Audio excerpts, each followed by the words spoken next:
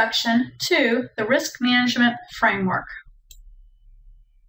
What we're going to look at in this domain is the key parts of the risk management framework, laws and regulations, understanding the NIST Special Publication 800-30 Revision 1 risk management process and define roles and responsibilities.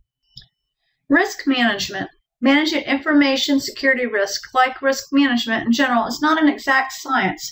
It brings together the best collective judgments of people and groups within your organization that are responsible for strategic planning, oversight, management, and your daily operations, providing both the necessary and sufficient risk response measures to adequately protect the missions and business functions of your organization.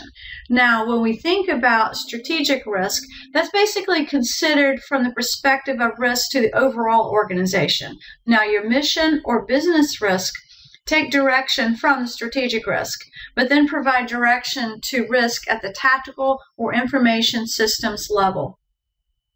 With this, it's going to encourage the use of automation to provide your senior leaders the necessary information to make cost effective risk management decisions with regard to the organization's information systems by supporting their core missions and business functions.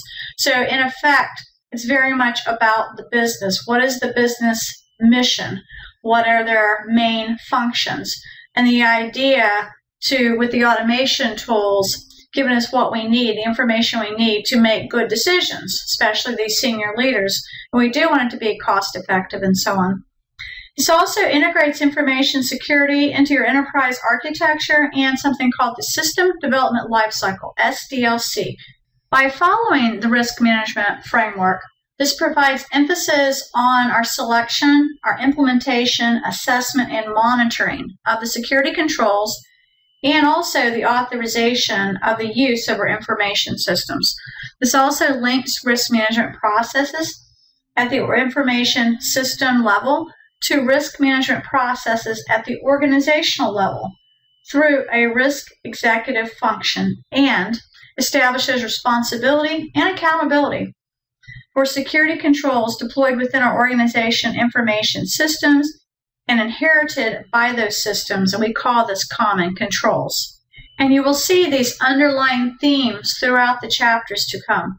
Now, when we think about the pillars of CIA, confidentiality, integrity, availability, these concepts are all about information security. So we call it the information security triad. And throughout numerous security courses, throughout different vendors, you will hear the same emphasis on CIA. Now, looking in the order they're doing this, availability. When we think about availability, this is a part of the triangle that provides assurance that the information on the system is available to users whenever it is needed. If our systems are not up and running and we lack availability, we do not look really good to our customer base because it looks like we really don't have our information security under control. We don't know how to deal with denial of service attacks. At least it looks like that. It looks like we're basically ill prepared. So availability of these resources, so users and you know customers and such can get to what they need to get to, is very important. Also, there's integrity. And we think about that part of it. We want the information protected so that unauthorized changes cannot be made to the information. And if they are made, we want to know that they were made. We want to know that someone who was unauthorized made a change, and we would be able to confirm it and verify the integrity of the system, integrity of our files. Very important. And many times, integrity is implemented through hashing algorithms such as MD5 and SHA-1, SHA-1.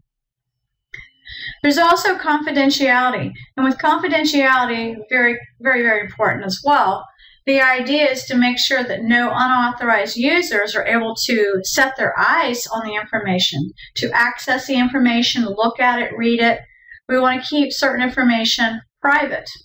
Without this confidentiality, we could see trade secrets, we could see information that's deemed private, such as private health information, and so on. So, confidentiality, integrity, availability are very critical. National Strategy on Cybersecurity.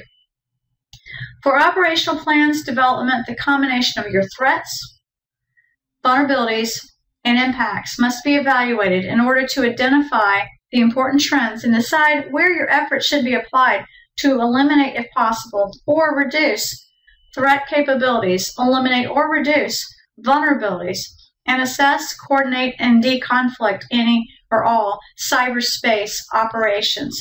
I mean, our goals, it would be nice to say eliminate, but sometimes it's a matter of just being able to reduce our, our weaknesses, our vulnerabilities, reduce the ones that could harm us, hackers, threats, whatever it may be, to a level that we can tolerate. Leaders at all levels are accountable for ensuring readiness and security to the same degree as in, in any other domain. Now we look at cyber attacks. And the cyber attacks on our information system today can be very aggressive, very organized, very disciplined, well funded, unfortunately, organized crime effectively. And of course, in a growing number of documented cases, very sophisticated. I mean, it's not your average hacker anymore. We don't necessarily have the teenage hacker just trying to get in our systems. We're, we're finding that the hackers are much more skilled, and this is essentially, I guess, the mafia in the computer world uh, having people that are very skilled and very organized, sometimes pretty complicated as well. Also, there is the NIST Special Publication 800 37 Revision 1. So, with regard to the NIST Special Publication 800 37, the idea behind this is to transform your traditional certification and accreditation process into basically a six step risk management framework. And really, the second step of the RMF risk management framework is to select the appropriate subset of security controls from your control catalog that's found in this, in this, in this special publication 800 53. And as we proceed through this book, you're going to see these six steps with great detail. With regard to the federal policy, in 1987, the OMB, which stands for Office of Management and Budget, issued the OMB Circular A-130. And with this, it mandated that all general support systems and major applications be secure before they're put into publication or production, which is really an important idea here. Uh, you, you don't want to put your systems, your applications into a place where they're being used in, in production effectively and they're not secure. So this focused on system authorization, which includes the risk management process of assessing the risk associated with operations of the system, mitigating vulnerabilities, trying to reduce, to deal with vulnerabilities, uh, which effectively reduces risk to a level that you can live with, to an acceptable level. And of course, formal acceptance of this risk by some sort of authorizing official. Now, actions of executive agencies. With the OMB A-130, it states that your agencies must, they must plan for security, ensure that the appropriate officials are assigned their security responsibility. You then review the security controls that you're using in the information systems and authorize system processing prior to operations and of course periodically thereafter, maybe reauthorizing these systems. Now, federal policies all agencies are required to adopt a risk based, again, cost effective approach to security. So, the big emphasis throughout this book is all about dealing with risk, risk management framework, all about dealing with the risk, yet being cost effective as possible, and also thinking about, I think, the the goals of the business, but yet good security at the same time e-Government Act of 2002. A core foundation of information security is based on this e-Government Act of 2002. And this mandated the protection of the information systems and required yearly or annual reporting by each agency head to Congress on the status of the security of information systems. Now, President George W. Bush signed this act, okay, on December 17, 2002. It's also known as Public Law 107 347, mandated a federal initiative to automate the public's access to government services. The OMB, Office of Management and Budget, facilitates the e-government initiative and also acts as e-government administrator. FISMA. FISMA stands for Federal Information Security Management Act. It's a Title III of the Public Law 107-347, which is the E-Government Act of 2002. Now, FISMA requires the development of an organization-wide security program and annual reporting on the status of the security program. Now, important points include the need for an organization-wide security program, and this recognizes the fact that information security is not just a factor for the individual systems, but is part of a much larger picture. Now, a vulnerability or a weakness or insecurity in any one system could pose a security risk to other systems both within and outside of your agency. And this requires a security approach that's consistent across all systems and throughout the agency.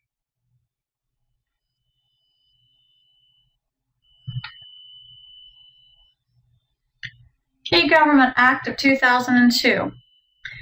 As part of the Act, all agencies must comply with the OMB e-government guidance. Both your public and your private sector are encouraged to work with OMB to find ways to use information technology to improve the delivery of the government information and services. Both independent audits and, and yearly annual reports are required as part of this law. And of course, agencies also are required to provide IT training programs for their people, for their personnel.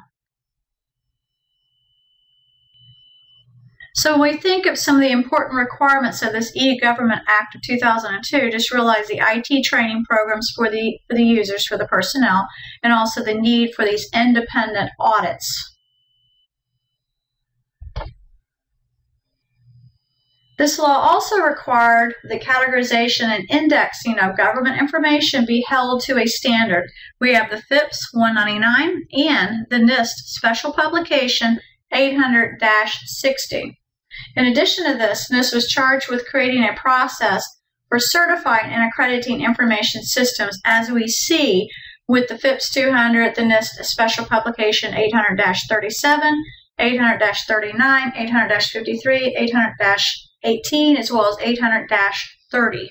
You know, the idea behind this was to, in order to protect the information and the information systems to an adequate level, it was important to categorize the information according to the level of impact that a breach of, remember, confidentiality, integrity, availability would be of the information and what it would have. So we, we think about the impact. And this would drive our selection of our, our controls, our countermeasures that would be required to protect that information. And the core document for security categorization, again, is the FIPS 199. And then the guidance document used to support that requirement is the FIPS 99. For that is the NIST Special Publication 800-60 as discussed. And also NIST is responsible for developing a process to certify and accredit. So that's a really big part of it as well. And that's really a big core of the course we're looking at here. Now, each agency is required to conduct a private impact assessment when developing a new information system. Now, this privacy impact assessment would identify the risk associated with the information being processed. And a key part of this information protection is accountability and governance. Each agency is required to provide oversight and adequate protection of this information technology resources. The use of the word adequate is sometimes troublesome since it's not always clear what is considered adequate or what's considered not adequate. So, through the use of guidance of the special publication and the determination of what our risk acceptance levels are by the authorizing official of each, each agency, we can then determine what controls are necessary to, develop, to, to deliver basically an adequate level of security so we can see that this is not an exact science. I mean, what is adequate, what's not adequate, and being left to interpretation, being left to the authorizing official to look at this and say what is an acceptable risk. So this could be a very different result based on you know all these factors and especially the authorizing official. There's obviously some flexibility on how agencies apply this guidance. I mean, federal agencies apply the security concepts and the principles that they see in the NIST special publications in accordance with and in the context of their particular agency's missions, their functions as a business, and their environment of operation. So again, FIPS stands for Federal Information Processing Standards, and it's a legal requirement for these federal agencies. And we're required to comply with this FIPS document. And really, kind of the idea is just to assist our agency in meeting the requirements of FIPS uh, by having this documentation to assist us. Now, with regard to 800-39, we're looking at the NIST special publication again, 800-39. It has a purpose, and it's to provide guidance for an integrated organizational-wide program for managing your information security risk to your organizational operations, such as your overall business mission, your functions, your image as a company, your reputation also as a company, organizational assets, individuals, other organizations, and the nation resulting from operation and use of federal information systems. So, really, it comes down to giving us guidance. I mean, something really to follow. And this is essentially a core document that describes the risk management framework. And it's a core part of, again, our course we're taking here. And the idea is we want to look closer at the 800 39 and its purpose and really guidance. It's all about giving us assistance. It is very helpful to have this guidance, to have these references, these special publications to give us something to follow, essentially.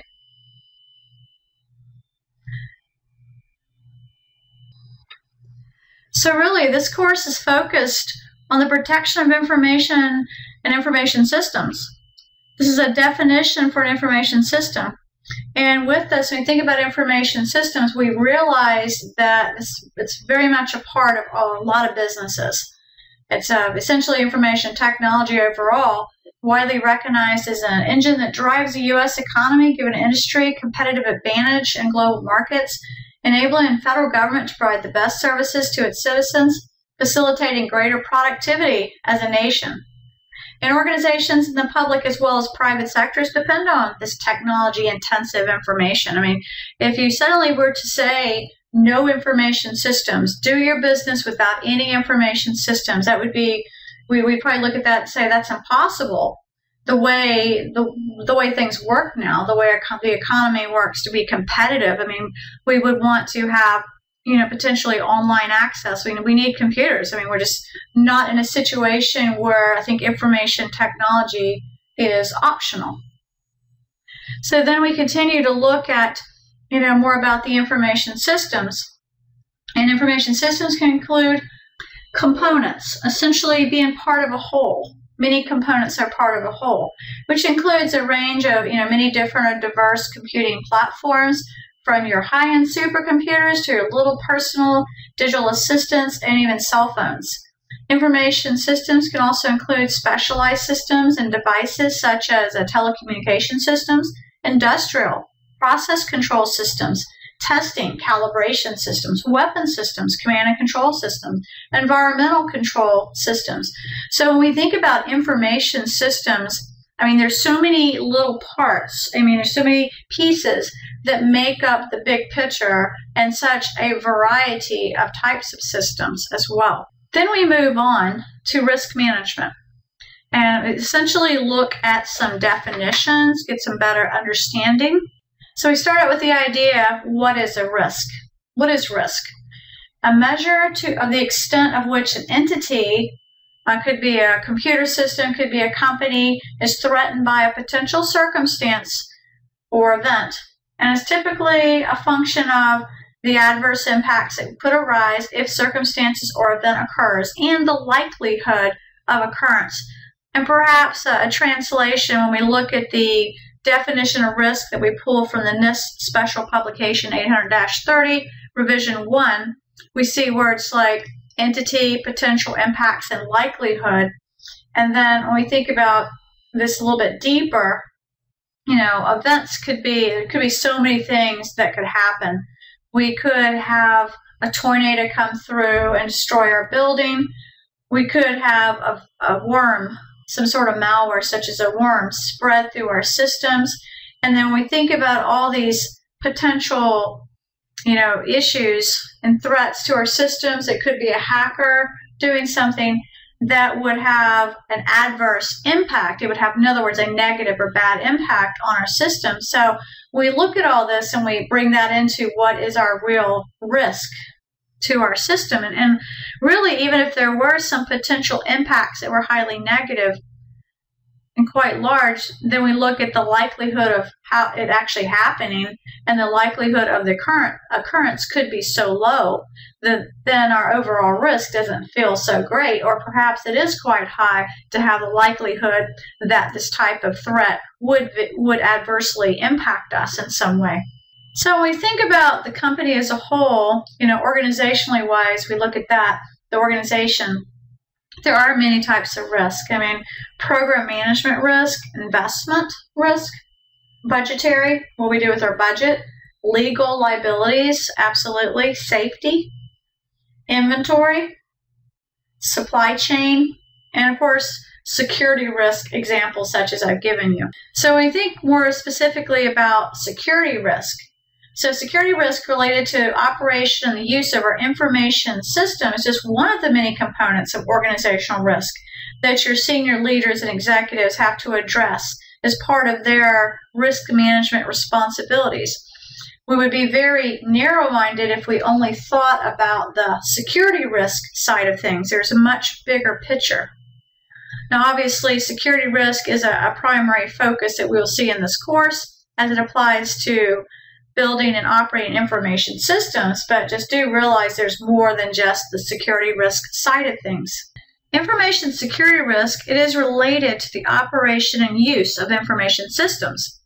Now, risk to systems consider the processes, the procedures, and the structures such as architecture, configuration, your overall environment of your information system at all times during its life cycle. Now, risk strategies can be used to influence the design and development of the information system and provide direction for the secure implementation and operation of these systems. So, as we review risk management, the core documents that we will address in this review are listed here. We have the NIST Special Publication 800 30, Revision 1, and this is your guide for conducting risk assessments. Very important. We have the NIST Special Publication 37 Revision 1, Guide for Applying the Risk Management Framework to Federal Information Systems. There's also the NIST Special Publication 800 39, Managing Information Security Risk. Risk management. Managing information security risk, like risk management in general, is not an exact science, as we're seeing here.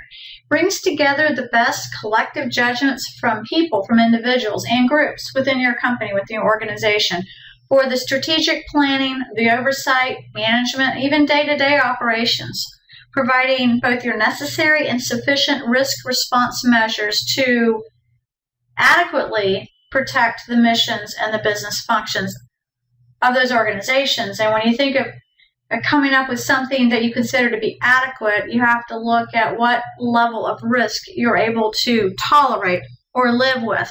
In other words, you, in other words besides these that you may think of when you hear talking about operation or day-to-day strategic and different ones, we actually have terms for that. And generally, you, you see the strategic, the operational, and the tactical. And we may have the day to day operations that we try to deal with and reduce the risk.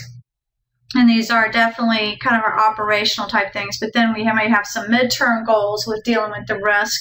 And we tend to call these tactical. And then we may have longer term goals, which might be strategic, kind of in the in the end, what we're trying to accomplish. When we think about strategic planning.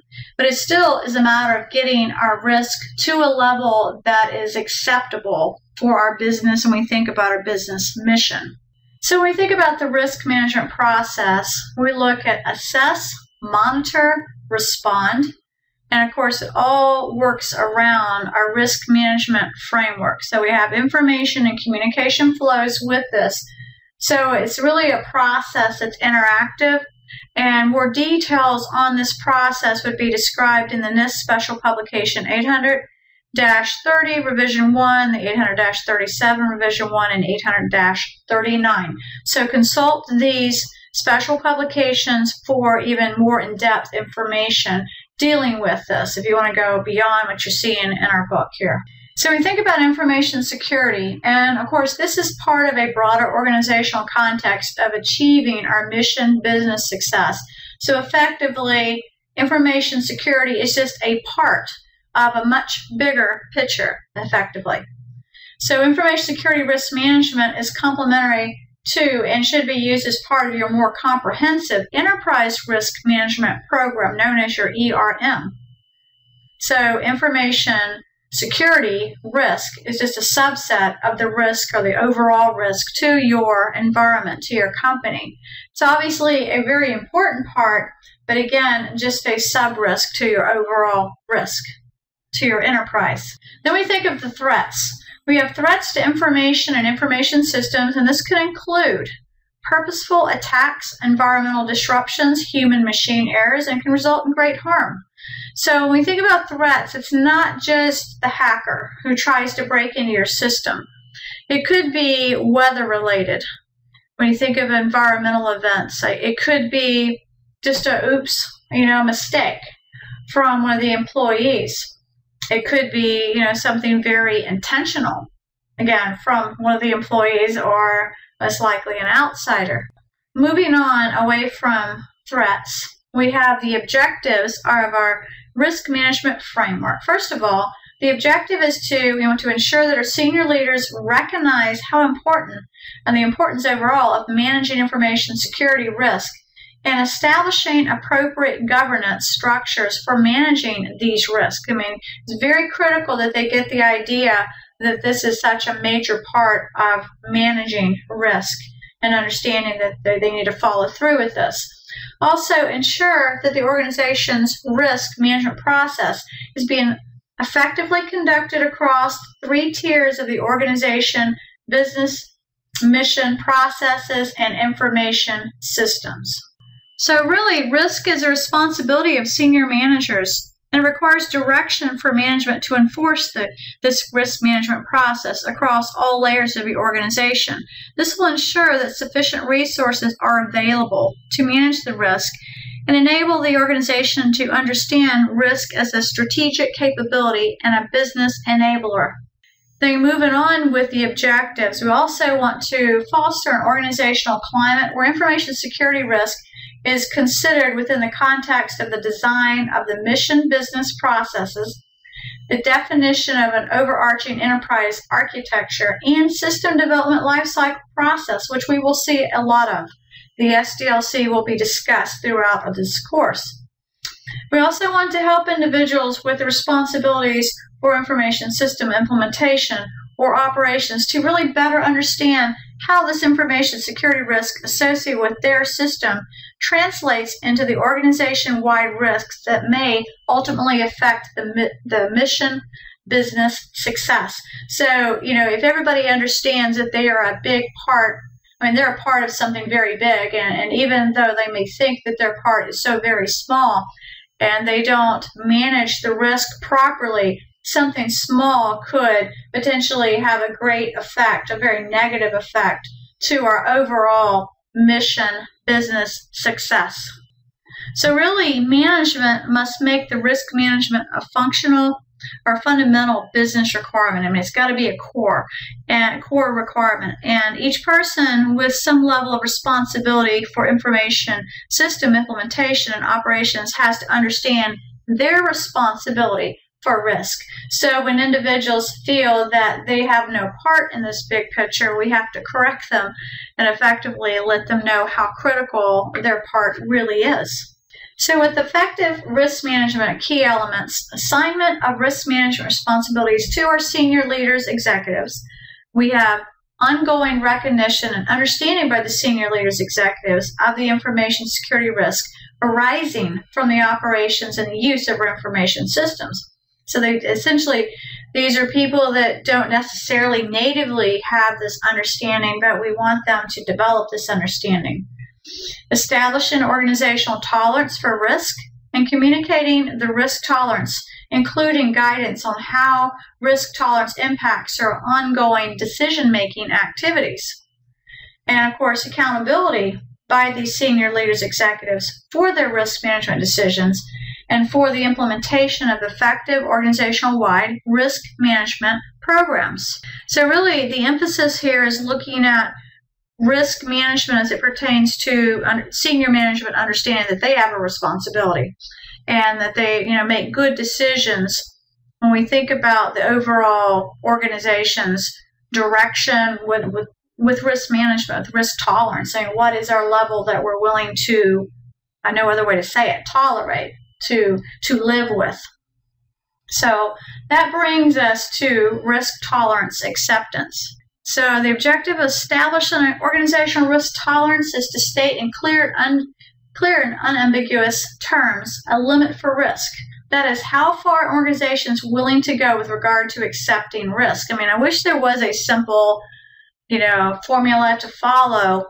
But again, this is it's a very difficult thing. I mean, we wish we could, you know, click a button and say suddenly we have no more risk and we say it's not a matter of how much risk we will tolerate, we're simply going to have no risk. Well, that's just a fantasy right there. So it, it really kind of comes down to the type of business, what the organization is about, and sometimes how much, what type of financial funds they have to put in place to develop better countermeasures and to, to overall reduce their risk, maybe even through redundancy of equipment. So, really, an important responsibility of senior management is to set limits of risk acceptance or risk tolerance. And really, what we're willing to accept risk wise, a limit for these risks.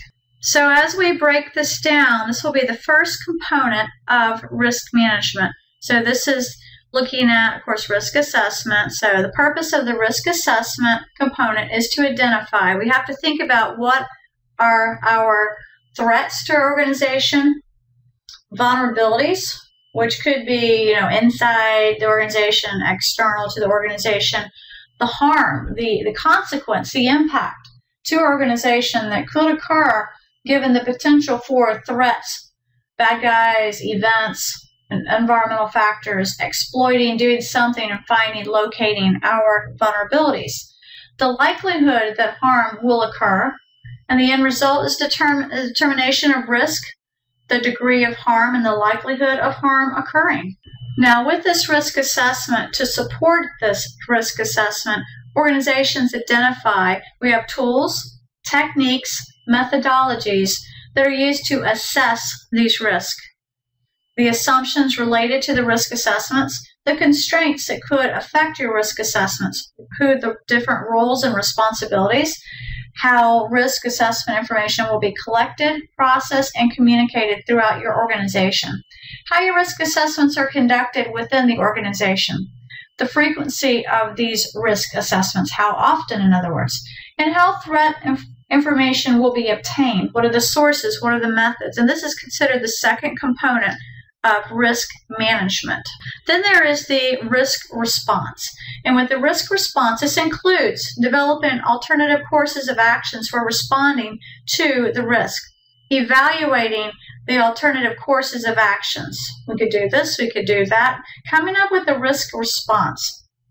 Determining appropriate courses of actions consistent within your level of tolerance, your organizational risk tolerance and implementing risk response based on selected courses of actions, putting something in place. And this is considered, again, the third component of risk management. Then we go on to the fourth component of risk management, dealing with risk monitoring. And the idea is to verify that your plan risk response measures are implemented and information security requirements derived from are traceable to organizational mi- missions business functions, federal legislations, directives, regulations, policies, and standards and guidelines get satisfied. They're basically, you satisfy those requirements. Determine the ongoing effectiveness of your risk response measures following implementation and make sure that what you have in place is actually doing its job, that it really is effective and also identifying risk impacting changes to your organizational information systems and the environments in which these systems operate. So we have to keep our eyes open. It's not a matter of just put this in place and we have completed everything and we never look at it again. No, it's more of a you have changing environments, you have changing situations, or maybe new um, laws in place, new regulations that you have to follow. So we're always the risk monitoring is is a definitely a, a big part of this too.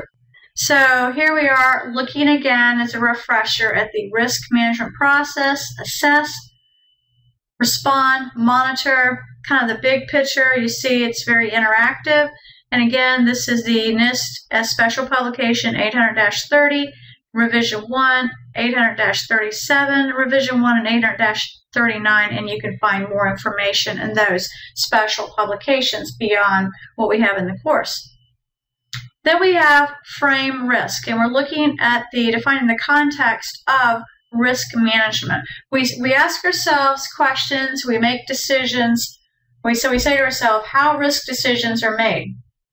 And of course, this results in risk management strategy. We try to define the foundation for managing risk, delineate boundaries for risk decisions. This also influences organizational risk tolerance, risk assessment methodology, assumptions, constraints, and your overall business mission priorities. So, really, the first step in the risk management process is to frame the risk, as we see in this slide and that is to gain an understanding of our environment in which risk decisions are made. And the result of the understanding the environment is a formulation of risk management strategy. As we step through the process of risk management, we'll examine risk at all levels. So the risk management process is carried out seamlessly across three tiers with the overall objective of continuous improvement in the organization's risk related activities and effective inter-tier and intra-tier communication among your stakeholders, having a shared interest in the mission, business, success of your organization. of course, we have Tier 1. This will address the risk from an organizational perspective.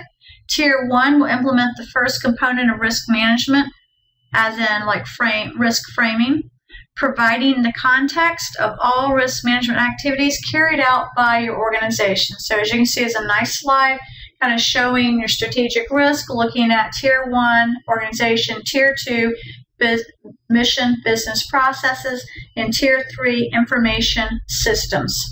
So key parts of tier one, we have governance, risk executive function, risk management strategy, our investment strategy, which includes our mission and our risk priorities, our anticipated risk response needs, and these limitation on strategic investments.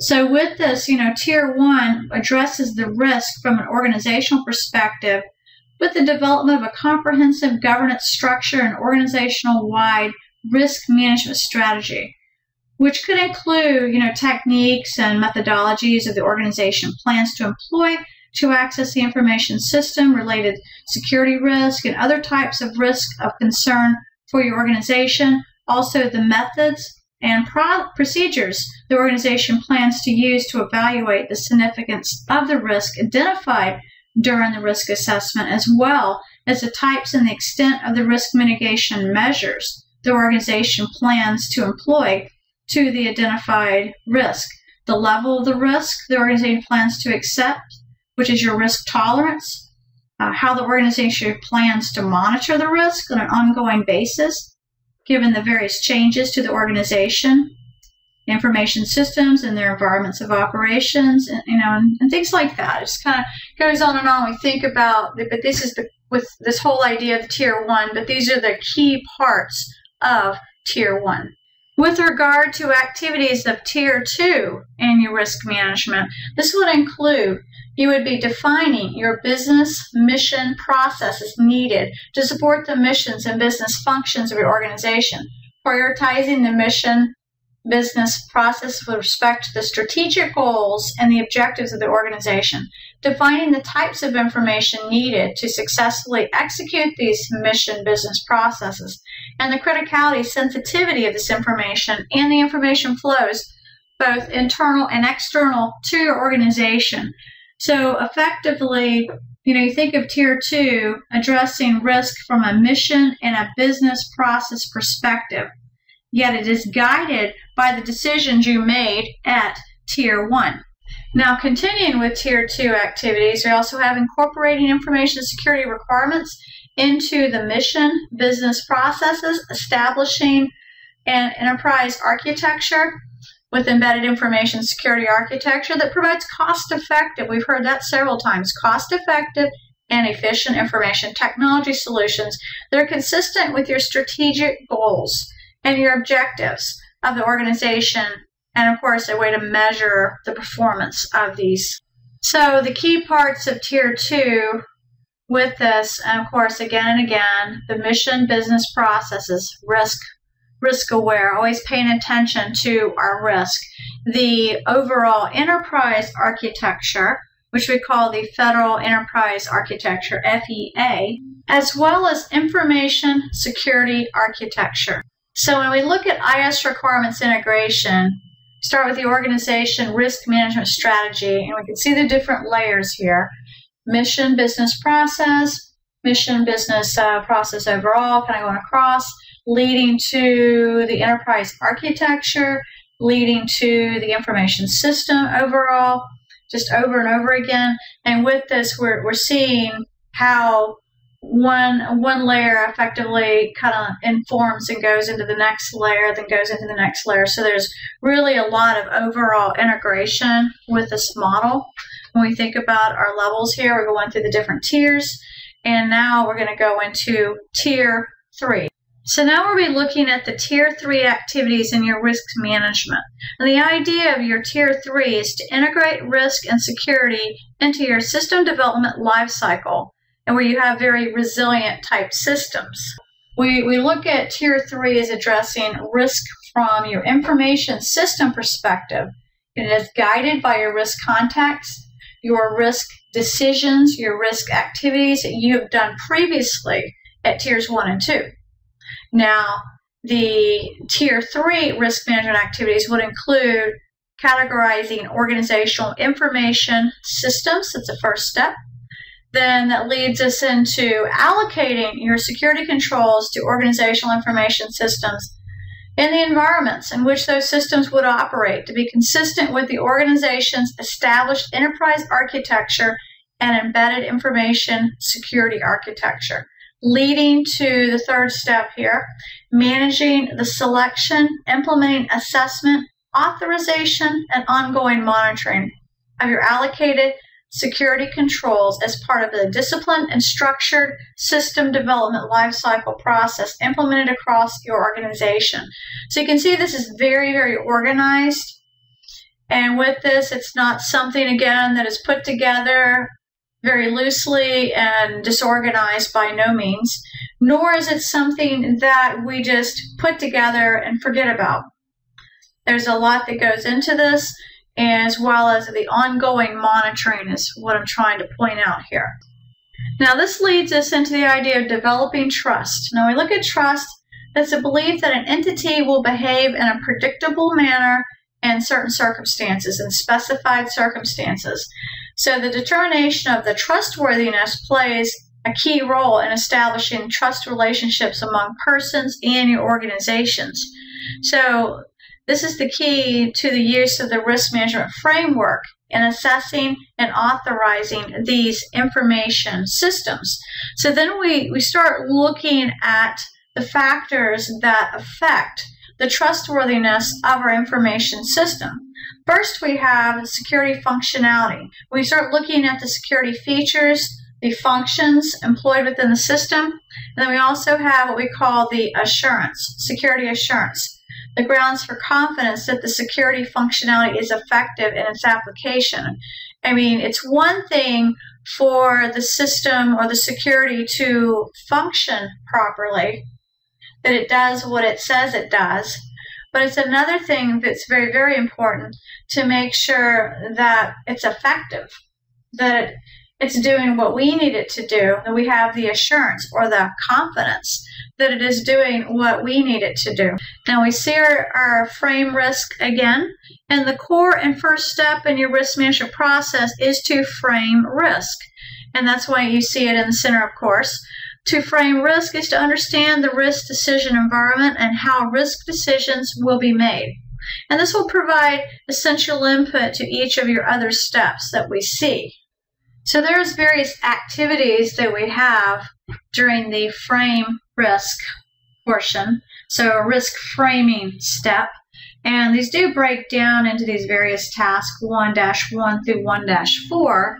And we start out with task 1 1, which is considered the risk assumptions. And this could be looked at as looking at the threat sources, vulnerabilities, consequences, and impact and likelihood. You could also see it as identifying assumptions that affect how a risk is assessed, responded to, and monitored within your organization. Then on to task 1 2, which is considered the risk constraints of the risk framing process. We would identify constraints on the conduct of the risk assessment, the risk response, the risk monitoring activities within your organization. There's also task 1 3, risk tolerance. And with this, we identify the level of risk tolerance for the organization. The task 1 4, priorities and trade offs. With this, we identify priorities and trade offs considered by the organization in managing these risks. This leads us to risk assessment.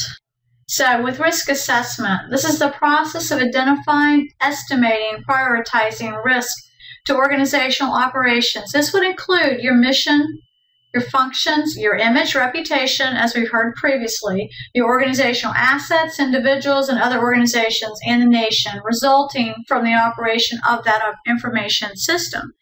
So, part of your risk management incorporates threat and vulnerability analysis and considers ideas, mitigation, something you can do about it provided by security controls planned or maybe already in place. So I guess we could also call this risk analysis. So when you think about this, we're looking at what can we do in response to these insecurities. What about these controls? And with the risk assessment process, this breaks into various tasks as well. So with the assess risk activities, task 2-1. Task 2-1 is threat and vulnerability identification. And with this, we identify threats to and vulnerabilities in organizational information systems and the environment in which those systems operate. Then there is task 2-2, which we call this risk determination. And with this, we determine the risk to organizational operations and assets, individuals, other organizations in the nation have identified risk, identified threats rather, exploit identified vulnerabilities. Threat. A threat is any circumstance or event with the potential to adversely impact an organization through unauthorized access, destruction, disclosure or modification of information and or denial of service. Threat shifting is where adversaries change some characteristic of their intent targeting in order to avoid and or overcome safeguards or countermeasures to basically find a way to not be stopped by your countermeasures that you put in place to mitigate whatever they're trying to accomplish. And when we think about an adversary, an adversary is an individual, group, organization, or government that conducts or has the intent to conduct detrimental activities. Then we have a vulnerability. A vulnerability is a weakness in your information system, system security procedures, internal controls, or implementation that could be taken advantage of or exploited by some threat source, which could be, we could think of a hacker taking advantage of this, exploiting. We could think of a weather event, such as a tornado coming through and destroying our building and you know causing problems there some sort of weakness that someone can take advantage of so it's a vulnerability then there's the likelihood of the occurrence And this would be a weighted risk factor based on an analysis of how likely or the probability that a given threat is capable of exploiting a given vulnerability or a set of vulnerabilities. So that could be a very different situation when you kind of analyze. I mean, you may have many different companies may share a similar vulnerability, but they may have a different likelihood based on their situation and where they're located and so on. So when we look at adversarial likelihood, with this, the threats, the assessment of the likelihood of occurrence is typically based on three factors. We have to look at their intent, their capability, and of course, targeting. And this would lead us to understanding the likelihood of occurrence. Then there's impact the level impact from a threat event. This would be the magnitude of harm that can be expected to result from the consequences of unauthorized disclosure of information or unauthorized modification or changes of information or unauthorized destruction of that information or even the loss of information or the information system availability. So we would measure those levels of what would happen if these things were to occur. Then there's aggregation. Now, organizations can use risk aggregation to roll up several discrete and lower level risk into a more general or higher level risk. Organizations may use risk aggregation also to efficiently manage the scope and scale of the risk assessments involving multiple information systems and multiple mission business processes with specified relationships and dependencies among those systems and processes. Now, this risk aggregation is conducted primarily at tiers 1 and 2 and occasionally tier 3. And this assesses the overall risk to organizational operations, assets, and individuals given a set of discrete risk. Now we have quantitative risk. Now, quantitative assessments typically employ a set of methods, principles, or rules for assessing risk based on the use of numbers. So you think quantity, primarily thinking money. So, where the medians and proportionality of values are maintained inside and outside of the context of the assessment. But many times, quantitative does deal with money and is very good for cost benefit type calculations. Now, there's also qualitative risk. Now, with qualitative assessments, this typically employs a set of methods, principles, or rules for assessing risk based on basically not numbers, non numerical categories or levels, where you might see something like very low, low, moderate, high, very high, or some sort of um, survey level where you have a range, yet it's not any true numbers, nothing to do with like money. And it also supports communicating the results of risk assessments to decision makers. Sometimes qualitative can work very well, but many times it could be a combination approach too. There's also semi-quantitative. Now, semi-quantitative assessments, these employ a set of methods, principles, or rules for assessing risk that use bins, scales, or representative numbers whose values and meanings are not maintained in other contexts. Now, this type of assessment can provide the benefits of quantitative and qualitative assessments such as bins, we may have a 0 through 15 and another one that's 16 through 35, another 36 through 70, and so on. Or obviously scales, where it'd be like a 1 to 10 scale. Risk assessment process. We have numerous steps here. With step one, we prepare for the assessment, and this is derived from the organizational risk frame we looked at earlier. Then we also have step two, conduct the assessment, which can break into identifying your threat sources and events, identifying your vulnerabilities and predisposing conditions, looking at the uh, determining the likelihood of the occurrence and the magnitude of the impact, and, and of course determining risk. And then we go into step three with communicating these results, and step four, maintaining the assessment. Now, with this, it leads us to step one, preparing for the assessment. And these divided to numerous tasks. We have task 1 1, we identify the purpose of the risk assessment in terms of the information that the assessment is intended to produce and the decisions the assessment is intended to support. Then there's task 1 2. This identifies the scope of the risk assessment in terms of organizational applicability, time frame supported, architectural technology considerations. Task 1-3, we identify the specific assumptions and constraints under which the risk assessment is conducted.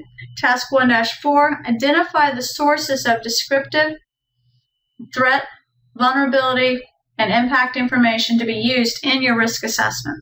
Task 1-5, we identify the risk model and analytic approach to be used in this risk assessment.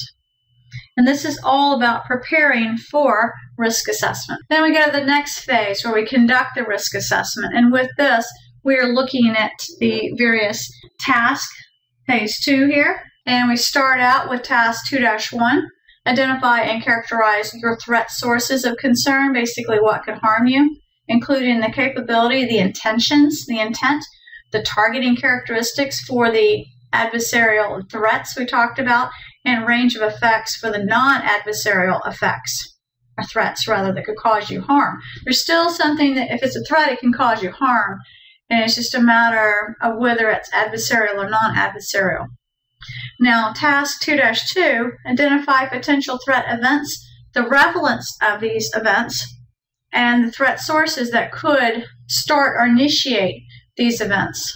Continuing our conducting the risk assessment with task 2-3, we identify the vulnerabilities and these predisposing conditions that could affect the, the likelihood that the threat event of concern could result in something, you know, bad happening, some adverse impact.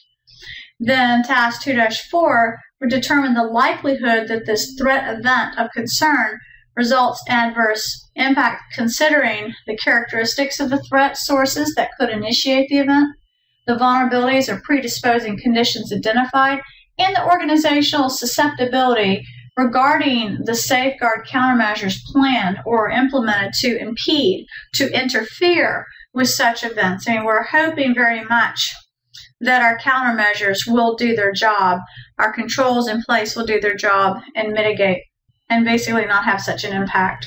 Then there's task 2-5, determine the inverse, the adverse impacts of the threat events of concern. And we have to consider couple things the characteristics of the threat sources that could initiate the events, the vulnerabilities and predisposing conditions identified, and the susceptibility reflected in the safeguards and countermeasures planned or implemented to impede such events. Now, task 2-4 and 2-5 really sounded quite similar in definition. Do realize that 2-4, we'll look back at that, was more about the likelihood and 2-5 was more about the impact of these threat events. So likelihood versus impact.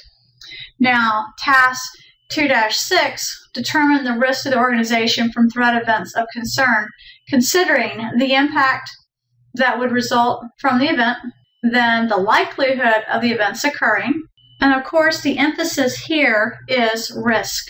Now we look at communicating and sharing risk assessment information. We start out with task 3-1. We communicate our, risk assessment results, essentially. We communicate our risk assessment results to organization decision makers to support risk responses. Then task 3-2, we share the risk-related information produced during the risk assessment with the appropriate organizational personnel. And then now we move on to maintaining the risk assessment. And we're looking at task 4 1. So with this, we conduct ongoing monitoring of the risk factors that contribute to changes in the risk to the organizational operations and their assets, individuals, other organizations, or even the nation. Then task 4 2 we update existing risk assessment using the results from our ongoing monitoring of our risk factors. And kind of the idea here is we have to maintain what we've done. There can be changes in our environment. It's not something that stays exactly the same. The threats don't stay exactly the same. So with anything, we are our risk factors can change and we need to be able to change as well with that and adapt. Here's the risk management process again. And of course, described in this special publication 800 30, revision 1, 800 37, revision 1, and 800 39. And looking at this, we're looking at the response. So moving forward, We look at risk responses. We could have risk acceptance, sometimes called tolerance, risk sharing, risk transfer, risk avoidance, and risk mitigation. When we think of risk, risk acceptance, this is basically would be a good response when the identified risk is within the organizational risk tolerance. A lot of times it might simply be cost effective. It seems like it's risk level that we can live with. Now, risk sharing or risk transfer would be appropriate risk response when the organizations desire and have the means to shift risk liability and responsibility to other organizations. With risk avoidance, this could be the appropriate risk response when the identified risk exceeds your organizational risk tolerance. And maybe there's certain activities or that you your organization participates in, and we simply try to cease doing those activities, not allow those things that we consider to be unacceptable, so we, we cease those activities. And of course, there's also risk mitigation, which is sometimes called risk reduction this would be the appropriate risk response for the portion of risk that cannot be accepted, avoided, shared, or transferred. Now on to risk response. We have task 3-1. We identify alternative courses of action to respond to the risk determined during our risk assessment. Task 3-2, evaluate these alternative courses of action for responding to risk. So we've identified them, now we're evaluating them, looking at them, 3-3, decide on the appropriate course of action for responding to risk after we've done this evaluation, make our decision, and task 3-4, implement the course of action selected to respond to the risk. So with these four tasks, you could basically summarize it as risk response identification, the second one, evaluation of alternatives, the third one, risk response decision, and the fourth one, risk response implementation. So now we look at the risk response strategy. So the key elements of a risk response strategy could include who's going to be responsible, uh, dependencies on other risk responses. There could be dependencies on factors such as our technologies, timelines, plans for monitoring the effectiveness of these, and interim response measures. Now, looking again at the risk management process, now we're going on to the monitor phase. Now, with monitoring risk, now risk monitoring provides organization with a means to verify the compliance. Are we doing as we should? Determining the ongoing effectiveness of the risk response measures and identifying the risk impacting changes to organizational information systems and environments of operation. Now we look at the task here of risk monitoring. We start out with task 4-1. Develop a risk monitoring strategy for the organization that includes the purpose, type, and frequency of the monitoring activities, with the idea of monitoring the compliance, the effectiveness, changes, automated versus manual monitoring, and of course, looking at how often the frequency of this monitoring. So when we think of task 4-1, we could summarize and just say risk monitoring strategy. Now going on to task 4-2, which we could summarize as risk monitoring, we monitor the organizational information systems and environments of operation on an ongoing basis to verify compliance, determine the effectiveness of the risk response measures, and identify changes. The Risk Management Framework and the SDLC System Development Lifecycle. Now, moving on to the Risk Management Framework. Going to transform the traditional certification and accreditation C&A process into the six step risk management framework we call RMF.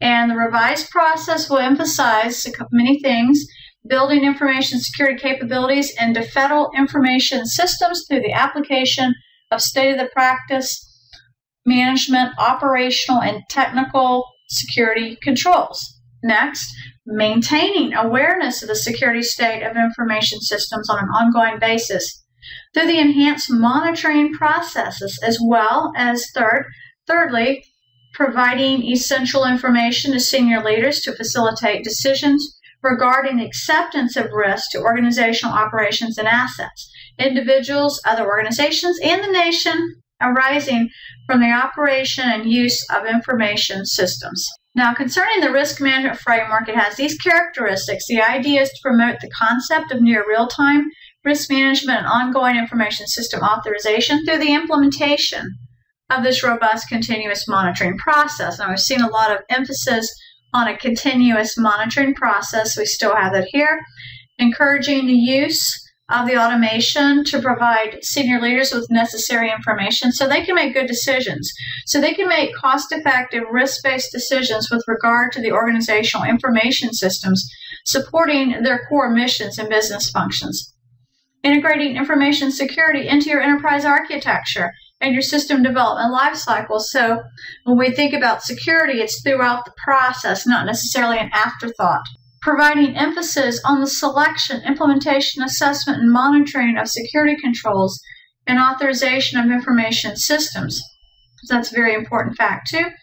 Links risk management processes at the information system level to risk management processes at the organizational level through a risk executive function and establishing responsibility and accountability for the security controls deployed within the organizational information systems, and as well as those that were inherited by those systems. We call these common controls. Then there is a security control assessment, and this is basically testing and or evaluation of your management, operation, and technical security controls in an information system to determine the extent to which the controls are actually implemented correctly they're doing as they should, they're operating as intended, they're producing the desired outcomes with respect to meeting the security requirements for the system. And with regard to management, operational, and technical controls, remember management is like administrative type controls, policies, standards, processes, procedures, guidelines. And we may think of operational controls, sometimes called physical controls. This could be physical security related, doors, locks, walls, fences, and so on, as well as technical controls, also known as logical controls. And this could deal with access controls, identification, authentication, authorization, confidentiality, integrity, availability, non repudiation, factors like these. Applying the risk management framework.